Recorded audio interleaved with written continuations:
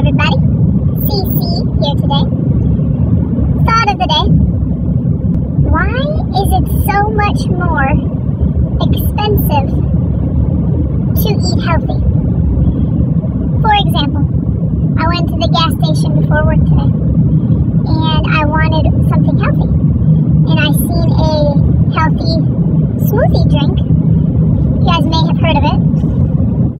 Delicious, right? Three seventy-nine, almost four dollars for approximately fifteen point two ounces. That little thing. Are you kidding me? Three seventy-nine. Choices we have to make. But it was so delicious, I had to get it. So I'm going to drink it